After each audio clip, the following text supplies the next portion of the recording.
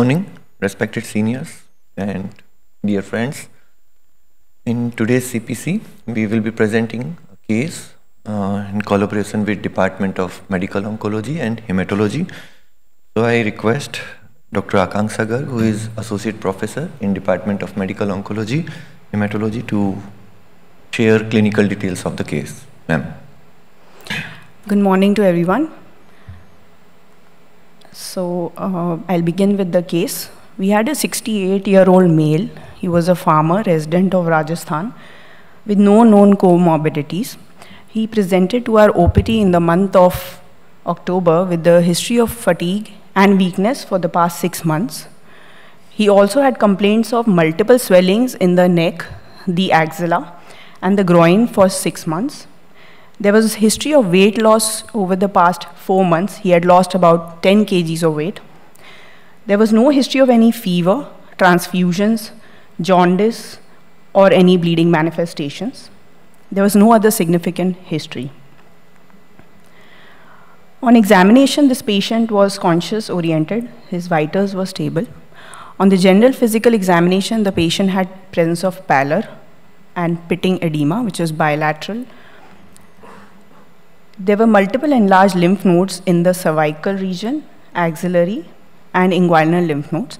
And the largest node was the level 2 left cervical, which was 3 into 3 centimeters. On the per abdomen examination, he had presence of hepatosplenomegaly.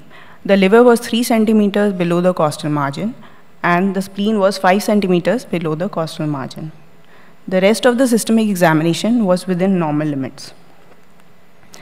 So with this background, we had kept the differentials of hematological malignancy. Lower down maybe some chronic infection like Koch's or uh, retrovirus and autoimmune diseases. But again, because the age of this patient was 68, so uh, this differential was lower down. Now this patient, when he came to us, he had already shown to a practitioner outside. So he had certain investigations. He had an outside CBC which showed a hemoglobin of 6.2 gram per deciliter with a TLC of 3.48 lakhs and platelet was 59,000. This was predominantly lymphocytosis and on the peripheral smear there was suggestion of presence of smudge cells. As you can see here, these are the smudge cells that were uh, basically uh, appreciated in the peripheral smear. So what are these cells? They are basically lymphocytes which are abnormal and while preparing the peripheral smear, they spread out because they are friable. So this was suggested in the peripheral smear. So with this background, we also had a imaging for this patient. He had got a CT of the neck, abdomen, and the thorax done outside Unfortunately, he was not carrying the films, so we just had a written report. And as you can see here, there were multiple enlarged lymph nodes which were conglomerated in the cervical, supraclavicular region, the axilla. There were certain mediastinal nodes also. Multiple nodes in the abdomen were present, as well as the iliac lymph nodes, both the common iliac, the external iliac nodes, and the internal iliac, along with bilateral inguinal regions. There was presence of hepatosplenomegaly. So as far as lymphomas are concerned, this patient had presence of nodes which was seen both above and below the diaphragm. He had axillary nodes also. So he was minimum a stage 3 of the lymphoma. Whether stage 4 or not, that would be further defined by doing bone marrow examination. So we had to evaluate him further. So we admitted the patient and we went on to do certain lab analysis and the further investigations will be discussed by Dr. Abhishek. Thank you, ma'am. So we received specimens of patient in our laboratory.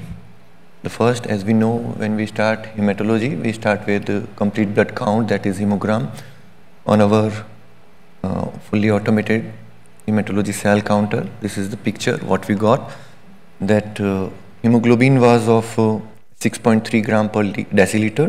Platelets were reduced, that is 49,000, and total leukocyte count was elevated, that was 534,000 per microliter, and 85% of these cells were lymphocytes.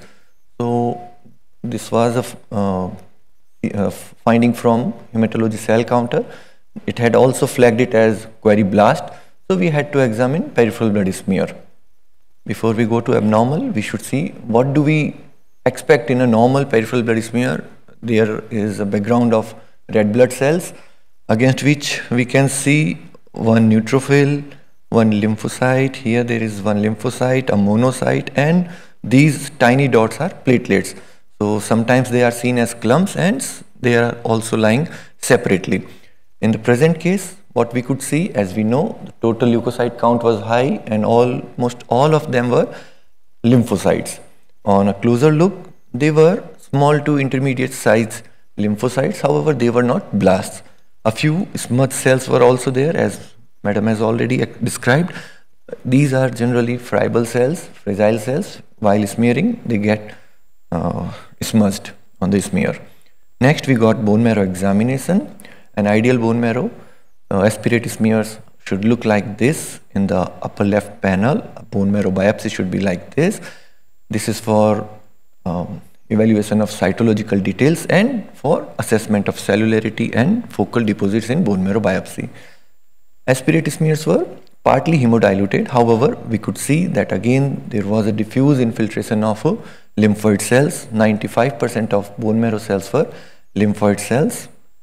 And on bone marrow biopsy, although this was fragmented, but still, still we could find out places where we could make out that uh, bone marrow was hypercellular and it was showing diffuse replacement by monomorphic small to medium sized lymphoid cells.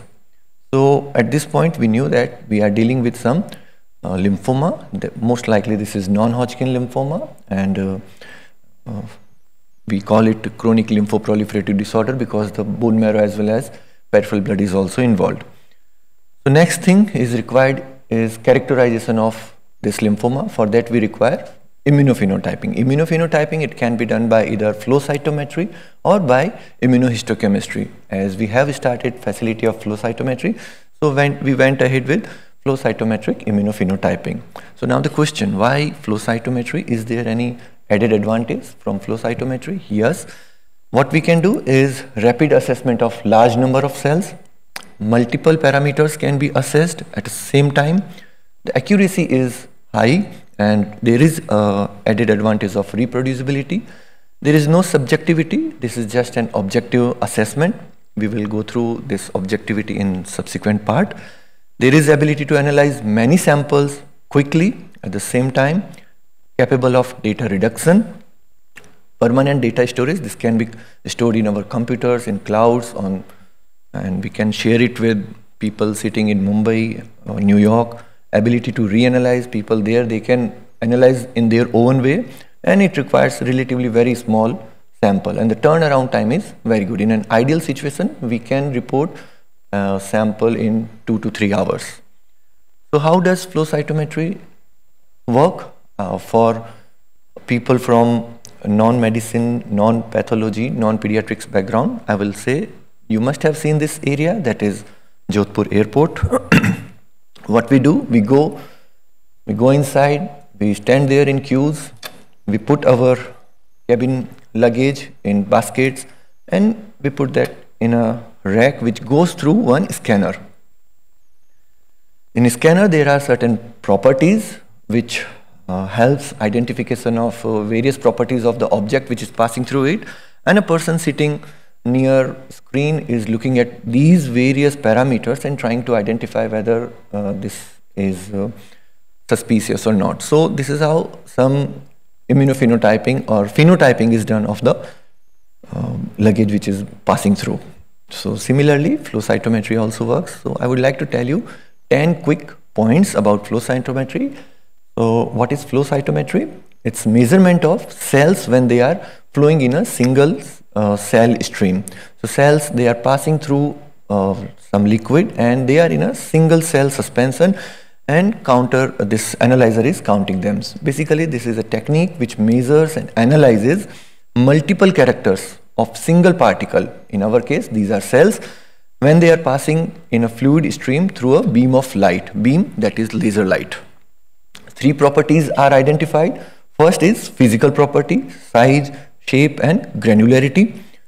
Antigenic properties, cells, it has many antigens on the surface within the cell in the cytoplasm at times uh, near nucleus. So these are identified with the help of certain fluorochromes and intracellular organelles and DNA intracellular proteins can also be identified. The basic principle is passage of cells in single file in front of laser so they can be counted, they can be detected, they can be sorted, they can be phenotyped. The third point, light scatter. It is physical property of any cell or particle which refracts or scatters light when it is passing through a laser beam.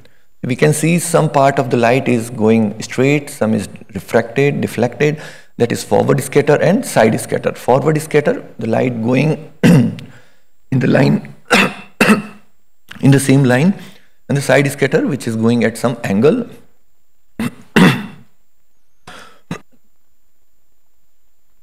Based on side scatter and flow uh, uh, side scatter and forward scatter, we can identify three type of cells in a solution that is lymphocytes, monocytes and granulocytes. Then we require one more property that is fluorescence. We all know, we have read in our schools what is fluorescence, the light emitted during decay of an excited electron to its basal state.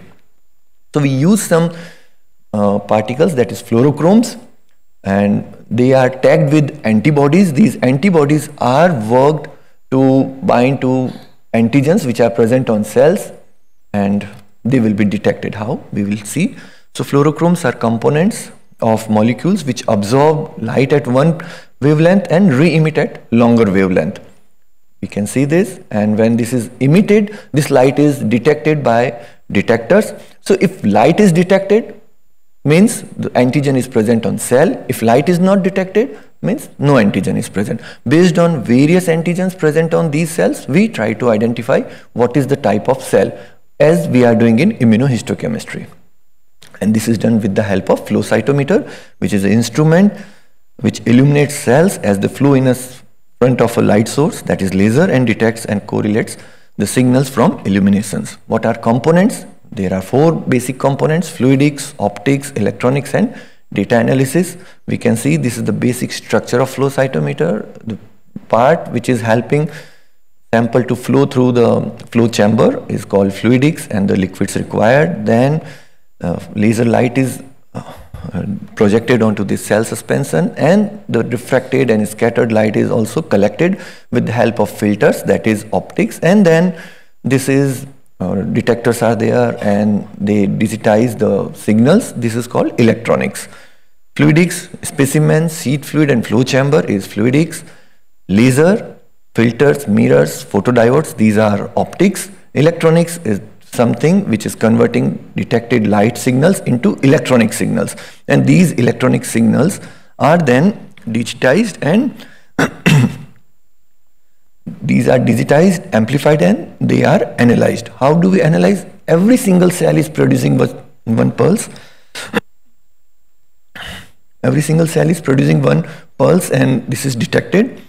We can detect with the help of histograms, dot plots, contour plots. Most commonly we use dot plots. The next thing is gating. We can see there is one circle.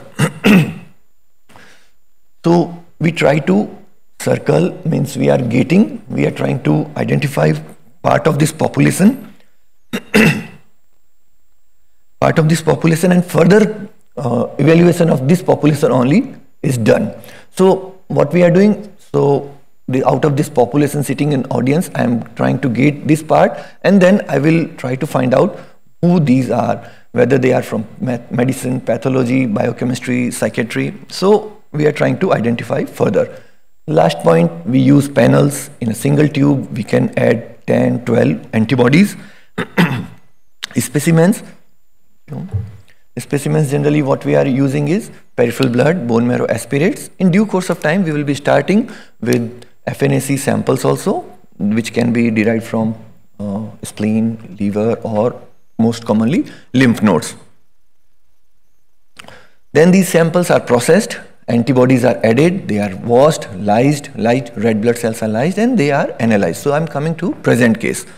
So these are scatters which we generally see in our textbooks. So we will go one by one. So every dot is one event, event means one cell. Here we can see that forward scatter, side scatter as I have already described, it will separate cells into monocyte, granulocytes and lymphocytes but majority of cells here are lymphocytes. We further, we have gated, now we will be evaluating this particular population only.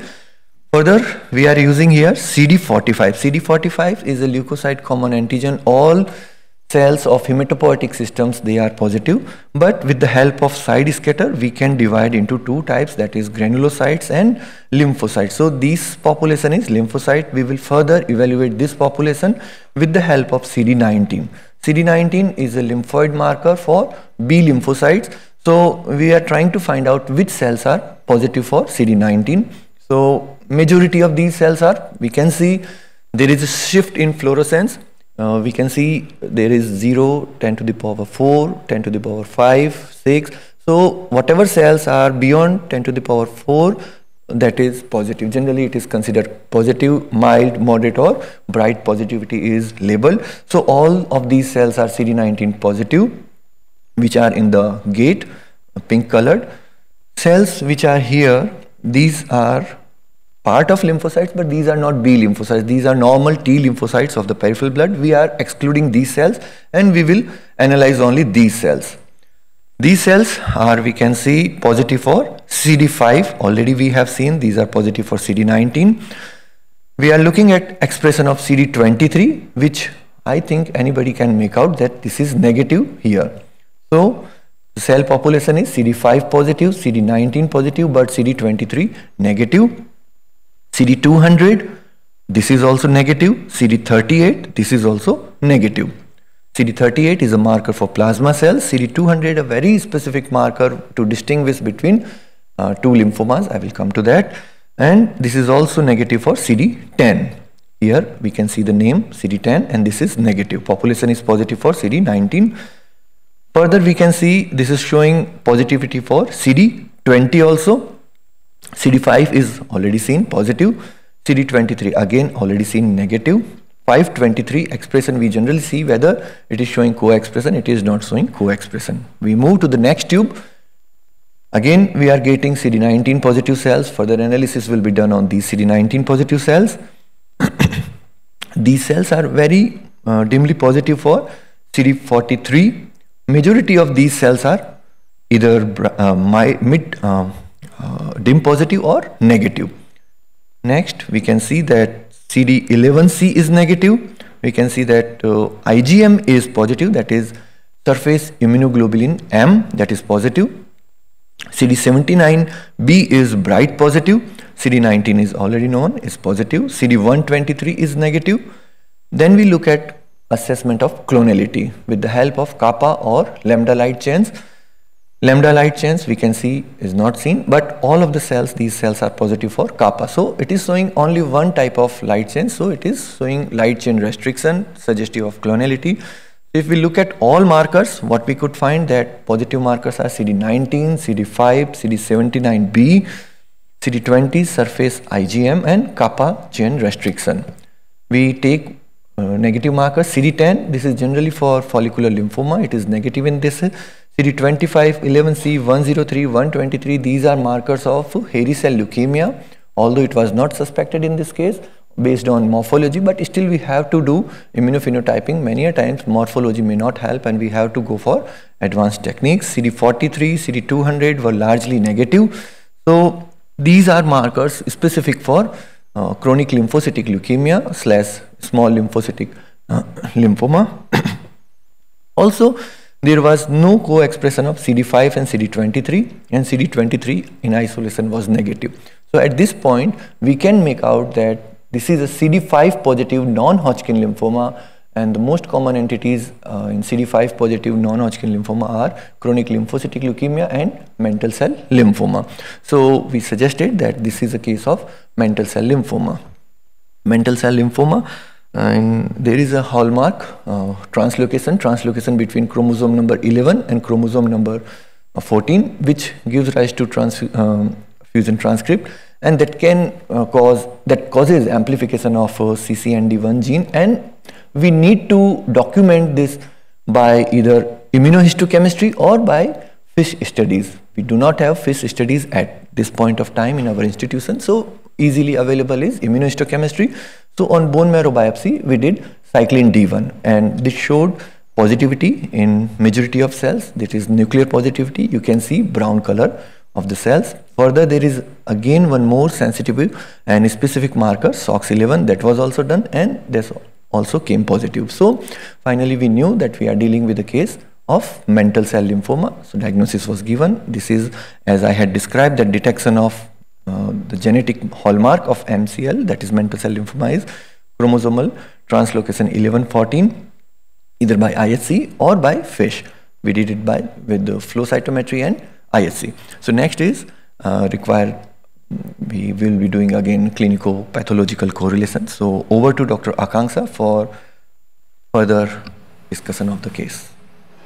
Thank you, sir, for that very interesting and uh, comprehensive overview of flow cytometry and how we actually came to the diagnosis for this particular patient. So further, just a table on the various investigations that were done uh, for this patient while he was admitted with us. As you can see here, when he presented to us, uh, he had very high counts. And along with that, uh, he also had presence of tumor lysis. So that is basically because of the excess tumor burden, there is spontaneous lysis of these abnormal cells. And that can be seen here with the uh, uh, high uric acid, as well as uh, the potassium also was higher for this particular patient. And when he came to us, the phosphorus was also very high. So uh, what we did was in this particular patient that uh, we managed him for tumor lysis syndrome giving adequate hydration as well as uh, there is an agent uh, called as rasburicase. We administered that. And then uh, once his uh, lysis was stabilized, we started him on therapy with bendamustine and rituximab regimen. I'll be coming on to the discussion of therapy for uh, this particular entity. And uh, rituximab was given at the dose of 375 milligram per meter square on day one and bendamustine at the rate of 90 milligram per meter square on day one and two. So this patient, he tolerated the chemotherapy well and was discharged subsequently. So briefly about uh, the uh, treatment of mantle cell lymphoma. So uh, this is basically a lymphoma which is seen majority of the patients are male and the median age is around 60 to 70 years. Most of the patients will present with advanced stage and uh, leukemic phase is seen in 30% of the patients. Extranodal sites are very common, especially the GI tract and there is a variable clinical course and this comprises of 6% of all the non-Hodgkin's lymphoma. So the clinical spectrum of mantle cell lymphoma ranges from the indolent type, which is seen in 15% of the patients. And as the patient acquires certain further somatic mutations, the disease progresses to either the classical form, which is most commonly seen in 80% of the patients, and the blastoid variant or the transformed variant, which is seen in 5%. So this is the uh, variant where you know you would have very high proliferation and uh, the patient will present with uh, very uh, severe and high tumor burden. So what is the goal of our treatment in these patients? So first of all, we want to achieve remission in these patients and also secondly, we want to maintain that remission. We want to give therapy in such a way that we may minimize the toxicity in these patients, especially because they are elderly. Many of them will have comorbidities, the uh, performance status of these patients when they present to us is also not very good. We want to prolong the progression-free survival, improve the quality of life if possible, and we need to understand that some of these patients, not all, they would, uh, they can be put on observation as well. So we have to decide according to the patient's condition whether he can be observed. Uh, uh if he has an indolent type of mantle cell lymphoma, we can observe the patient for quite some time. So previously when mantle cell lymphoma, it was discovered back in 1980s. And uh, you can see here in this particular uh, Kaplan-Meier curve, you can see that initially the survival of these patients was less than 10%. But now with the improved therapy and inclusion of the monoclonal antibodies, most commonly used is rituximab, the survival of these patients has definitely improved. And now almost uh, it is reaching up to 60 to 70%. So when we get a patient of mantle cell lymphoma, we have to prognosticate. Of course, the patient comes to us, the attendants will ask us, what is the prognosis of this disease? How much more time does he have? So we have certain scoring, uh, uh, scoring systems for these uh, patients. And for the mantle cell lymphoma, we have the mantle cell lymphoma international prognostic score. So this comprises of certain points you can see here. The age, the performance status of the patient, the LDH levels are very important and the baseline WBC counts. So as the, uh, you can see here, the, all these points have certain uh, scoring system and accordingly, the patient can be classified as a low risk, intermediate risk or high risk. And in this particular curve, you can see that patients who have low risk of disease, their survival, probability of survival is much better than the ones who have a high risk disease. And this was a Nordic study which showed that with the improvement in the therapy, the median uh, event-free survival or the pro progression-free survival in these patients has now increased to almost 8 to 10 years, and the median overall survival is more than 10 years. So when we come to the phases of treatment, this is the basic concept. First, you give, uh, you need to bring the patient into remission. So induction therapy has to be given, which comprises of chemoimmunotherapy, that is chemotherapy along with the immunotherapy in the form of monoclonal antibody. And after this, once the patient has achieved remission, you need to put the patient on maintenance and consolidate that remission. So that can be done with the help of certain agents which I will be discussing or with the help of a stem cell transplant. So these are the treatment options for mantle cell lymphoma. Our patient, as you can see here, he was above 60, uh, 65 years of age. He did not have any organ dysfunctions. His LFT and RFT were normal. But uh, of course, his performance status was around 1, ECOG 1. So we decided to give him uh, some uh, sort of therapy which would not be very intensive because you want to minimize the therapy, but at the same time it would be equally effective. So uh, for these patients, the uh, first line therapy, uh, you can include either giving the R-CHOP chemotherapy or the bendamustine rituximab chemotherapy. There are other agents also like high-dose uh, which can be given because, uh, but again, the toxicity is high. So you need to judge according to the patient's condition. And very important is that these patients, since they are not very good candidates for a autologous stem cell transplant, which can be done for a younger fit patient, these patients need to be given rituximab maintenance. So why is R bendamustine preferred over R-CHOP? So most of the other NHLs like DLBCL, we give R-CHOP as the first line therapy, but this was a study, the BRIGHT study, which was reported in the Lancet by uh, Rummel et al. in 2013. They had clearly shown that the incidence of the uh, achievement of CR rates with patients who receive BR, which is bendamustine rituximab, is much better than the ones who receive R-CHOP.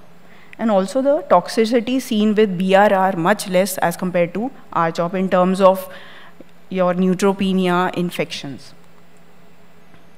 So what is the role of maintenance rituximab? This was a study which was reported uh, in uh, uh, the um, Journal of Clinical Oncology in 2022. And you can see here in these uh, curves over here, this is basically talking about the time to next treatment, which means indirectly uh, basically is indicative of the progression-free survival. So patients who receive bendamustine rituximab or the R-CHOP therapy, if they are not given further maintenance rituximab, their outcomes tend to be poorer as compared to those who have received maintenance rituximab. So this was clearly shown. It was a study of almost uh, more than 1,000 patients and it was a multicentric study. And uh, as compared to the, uh, this is for the progression-free survival. When you look at the overall survival, again, the overall survival, although the curves are not very separate, but definitely there is a uh, slight survival, overall survival advantage in patients who receive the maintenance rituximab.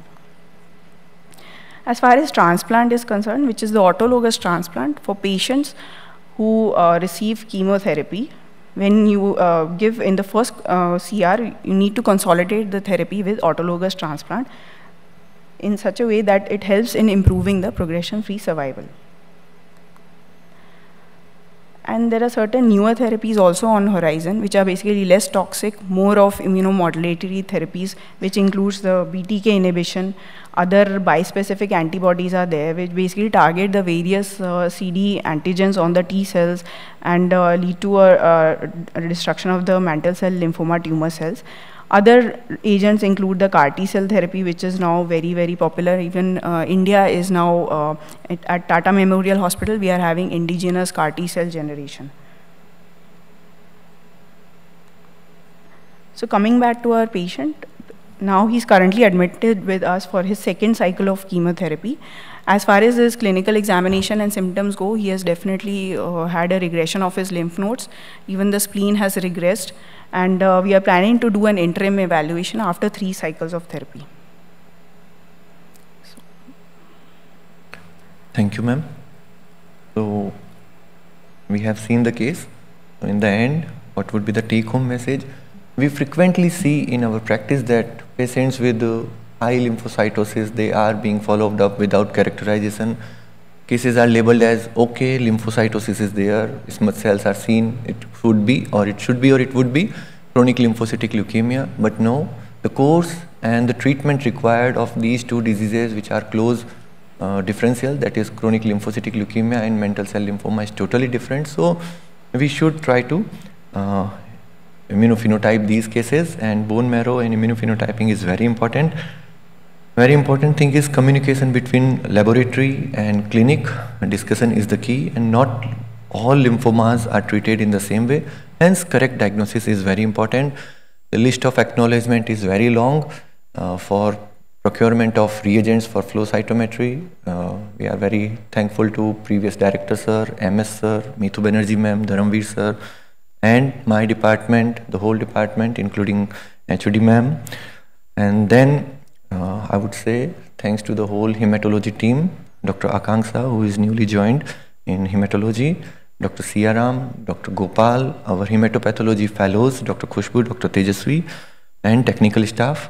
And we can see integration is required between laboratory part and the clinical part. And that is the theme of upcoming hematology update in January. With that, I would say thank you. Uh, we can answer if we have any questions.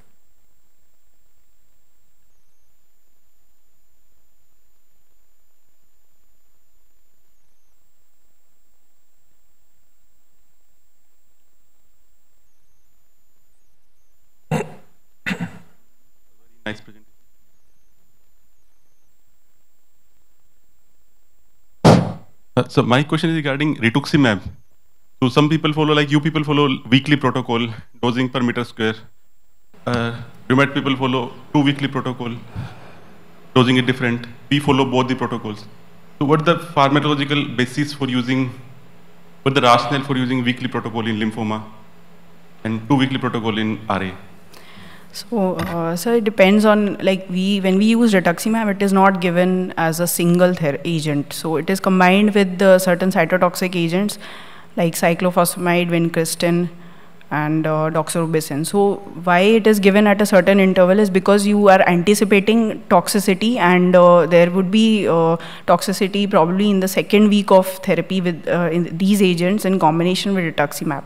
So that's why certain protocols like R-CHOP is given every 21 days. Bendamustine is also an alkylating agent and uh, that uh, the BR therapy is given at 28 days interval. So I think it is because of uh, this property that uh, the various protocols are given at either 21 days interval or 28 days. So if you are using rituximab as a single agent, because we know that it will not cause uh, uh, cytopenias and it is basically an immunotherapy, so that's why some of the protocols, even in lymphomas, where we are giving uh, for certain uh, lymphomas like uh, splenic marginal zone lymphoma, it can be given, rituximab can be given on a weekly basis. But that is when it is being given as a single agent.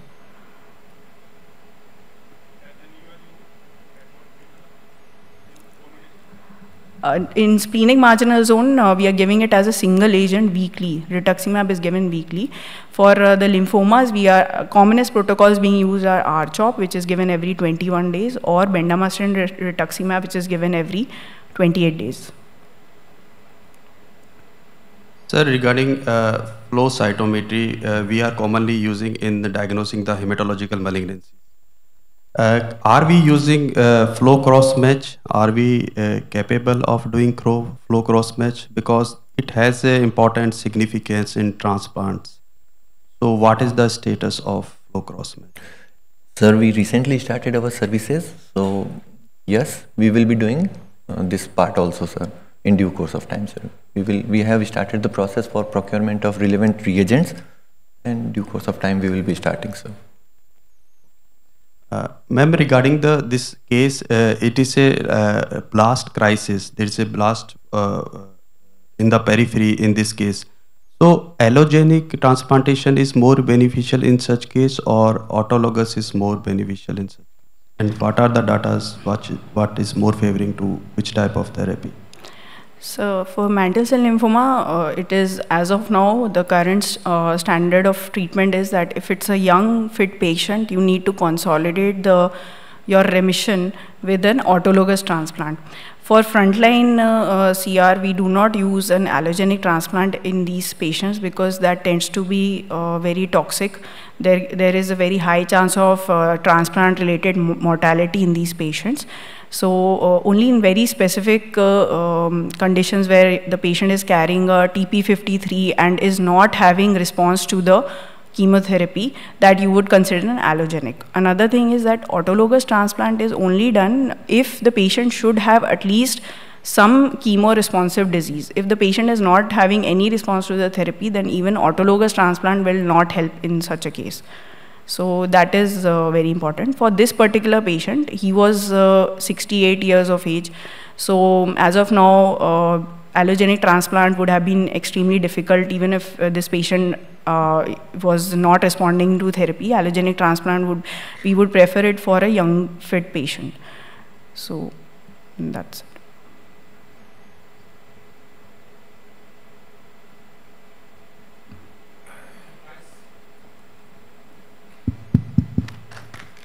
Thank you, sir. Thank you.